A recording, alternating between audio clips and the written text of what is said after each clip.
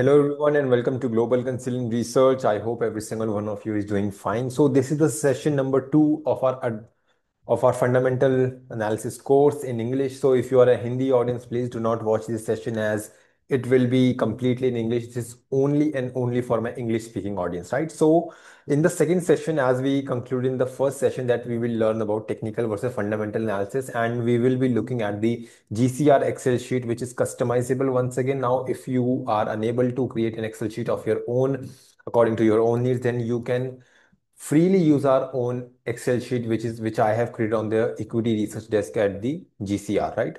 So obviously you can look at the sheet. Now this is the home page. Now, if you closely look at it, this is a quite a short and quick way to analyze stocks. Now, I have not made this sheet way too long. There are only hardly six or seven sheets which you can use, and I have added a template sheet as well. So if you want to create another sheet of your, you can simply click over here and click on move or copy and click create a copy and you will be able to make a copy in no time, right? So this is the data sheet. Now you do not have to make any changes to this data sheet and, and and even screener tells you please do not make any changes to this sheet because otherwise the entire data will be corrupted right? So let's move forward and look at the home page. We will come back to it. I will show you the entire way around this excel sheet how to operate it how not to operate it and how to upload it on screener.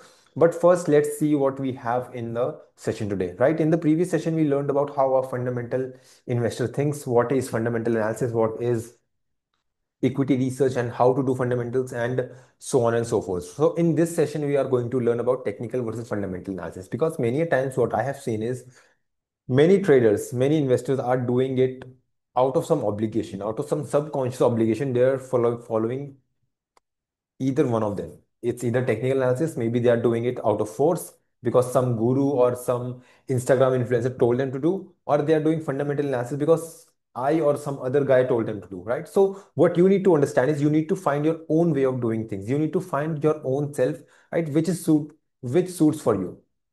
What suits you? Is it fundamental analysis? Is it technical analysis? Or is it option trading, right? So you need to understand what you are capable of doing and what is comfortable to you. Now there is there is absolutely nothing wrong in being a technical trader. There's absolutely nothing wrong. If this is something which resonates with you, then by all means do it. Right? But if fundamental analysis is something which resonates with you, then by all means do it. Right? It's like saying that you should always be active in, actively investing in the market. No, you can be a passive investor as well. You can be a mutual fund investor as well, right? So make sure you have a clear distinction between what is technical analysis, what is fundamental analysis, and what suits you. So Let's quickly see the definition of it. In technical analysis, we simply analyze past price movements, trading volumes to predict future trends. So what it means is simply you are doing analysis on the past price, how the stock prices moved over the past couple of weeks, couple of months, or maybe couple of hours. Intraday traders, they do exactly that. You look at trading volumes to predict the future price trends, how the price is going to behave based on the past trends and the past volume and whereas in fundamental analysis, we do financial health analysis, business model, macro factors, geopolitical factors, and we try to find a, an intrinsic value. Now, if we talk about intrinsic value, you can watch my equity valuation course as well, which I have uploaded on the YouTube channel.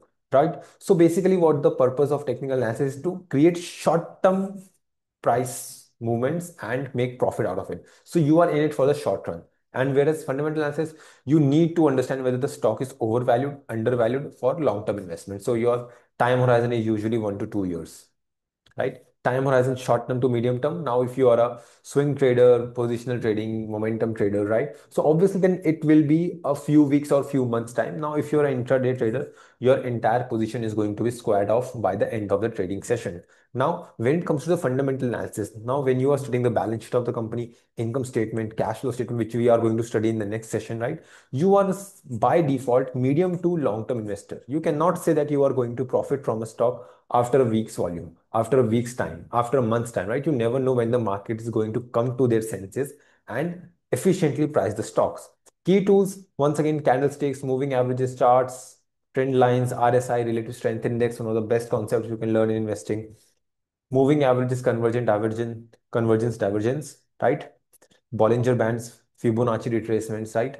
And in the fundamental analysis, you simply look at the financial statements. You'll also look at the auditor report. You also look at other macroeconomic sectoral reports, right? So on and so forth. So it's a big task to do the fundamental analysis. Whereas technical analysis is a quite a bit easier than fundamental analysis, but still it is tough, right? So data focus is on price and volume, and whereas the data come from primarily company fundamentals when it comes to the fundamental way of investing. So these are some of the basic differences between the technical and the fundamental side of the investing. Now, what you need to do is you need to decide for yourself. You need to decide for yourself what you want to do, whether you want to be a technical trader or do you want to be a fundamental analyst, right? And there is nothing wrong in choosing one. You can watch this session and say, boss, I want to do technical analysis, right? This is something that is absolutely your choice, not mine right? So make sure you understand all these differences and what is best for you, right? Because in this session, we are not going to simply rote memorize the fundamentals. We are going to see what we are capable of doing and what suits us, right? So once again, so relies on numbers, indicators, patterns, whereas fundamental analysis relies on qualitative factors as well. You do management analysis, and in this session, not in this session, but in this course, I am going to teach you how to do the management analysis properly. Because trust me, many a times people do wrong management analysis. They simply look at the annual report and see where the company's MD, CEO has done their MBA from and what their political connections are. If there is nothing, then they say the management is good. This is not how you do the management analysis. I'll give you a framework. I'll give you a common sensical framework, but that will not be easy, right? So you have some quantitative frameworks as well. So this is the main difference. Traders and short terms, long term value investors and institutions. Now it's maybe in this we have your mutual funds. We have your hedge funds who invest in a fundamental manner. There are hedge funds which use technical analysis completely. There are hedge funds which use completely FNO strategies. There are hedge funds which completely use a quant framework, right? So what's the assumption? What's the assumption between technical analysis and fundamental? That in the technical analysis, what I am assuming is that market trends repeat over time and price reflects all known information that market is quite efficient. Right? Modern portfolio theory, if you remember, any CFA level 1 candidate will explain the modern portfolio theory that markets are typically efficient. Whereas in fundamental analysis, I am assuming that markets are a bit inefficient, not completely inefficient, but a bit inefficient, and that inefficiency turns into efficiency over a period of time. Because to make profits, you want market to completely reflect the true worth of a stock. Usually higher risk and usually lower risk in the fundamental analysis. And if you are a day trader, trust me, if you are day trading, if you are swing trading, please by all means do technical analysis. It is completely useless for you to do fundamentals, right? Trust me, it is not much of use to you. And for investors looking for long-term wealth creation like Rakesh Jhunjhunwala, like Raamdeo Agrawal, like Warren Buffett, please go by all means to the fundamental analysis, right? So these are the main differences you need to understand. Now, we are done with the session today, right? This one is a short session. It was just an introduction to our analysis sheet, right? Now, if you look at our analysis sheets, there are buttons, right? Now, if you look at in the, if I click on the profit and loss, there will be a profit and loss income statement analysis over here. You can easily copy paste it to the your presentation, right? If I click over a chart analysis now, if you look at my research reports, you will find a lot of charts.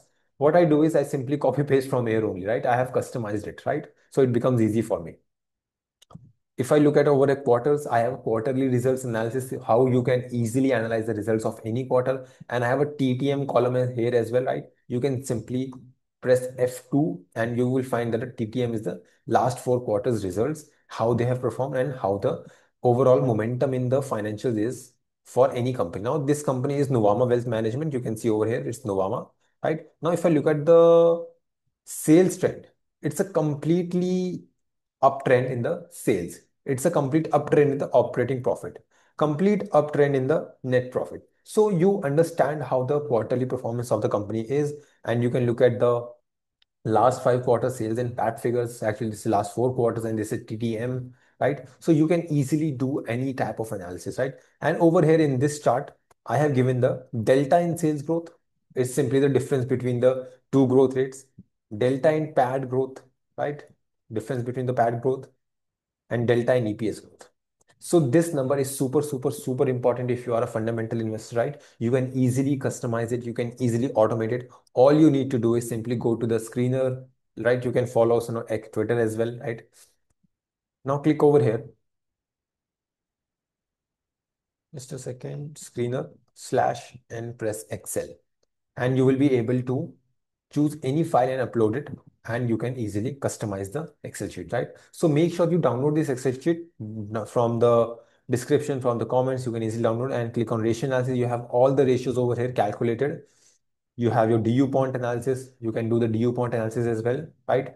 Whether you whether the ROE of the company is due to PAT margin, asset turnover, or equity multiplier, you will be able to find the reason for that. Forensics now, once again, forensic accounting, I have made a special video on that. So make sure you keep like make sure you watch all the videos, right? It's one of the best channels on YouTube. And once again, the data sheet, right? So make sure you upload it on the screener. It's a short Excel sheet. It's not that big because I want to keep things simple because once you start keeping things simple, you will be able to make money in the market, right? So all in all, you will be able to analyze any stock using this Excel sheet. So Make sure you download the sheet and you subscribe to the channel and stay tuned for the next session. I hope you love the session. This was one of the introductory session, right? Once again, and a theoretical one. But from the next session, we are going to do the complete financial analysis of the companies, right? So folks, thank you and bye-bye.